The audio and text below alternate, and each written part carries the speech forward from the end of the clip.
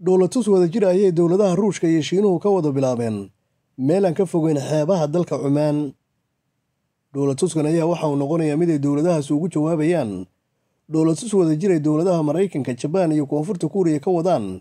Meel aan ka fogeyn soodimaha waqooyiga kuuriya. Indhawaalaba dhowlatusyo ay sameeyaan dowladaha waaweyn.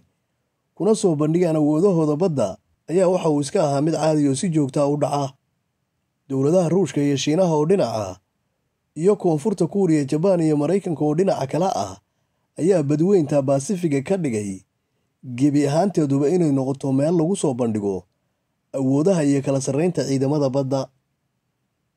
Iyadoo adduunkao dhammi uu aaminsan yahay in dhowaanta dowladaha shiinaha maraykanka si iyo si kaleba dagaal uga dhex qarxi doono. Dowladda shiinaha ayay dowladda maraykanku haatan u aqoonsan tahay inay tahay dowladda iyo ta keliya kula tartamaysa ka talinta adduunka kadib marka dowladda ruushka ay ragaadiyeen dagaallo aan dhammaad lahayni.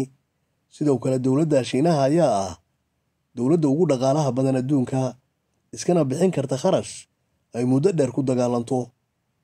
Waana dowladda shiinaho weliba ah dowladda ugu dadka badan adduunka. Oo ah midaan marnaba waayi karin. Dad u dagaalama iyo warshadahu u soo saara daawade haddii aad tahay daawado kanaalka ku xirnaa waad ku mahadsan tahay.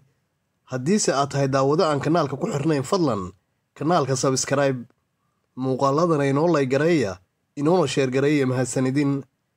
Assalaamu calaykum waraxmatullaahi wabarakaatuh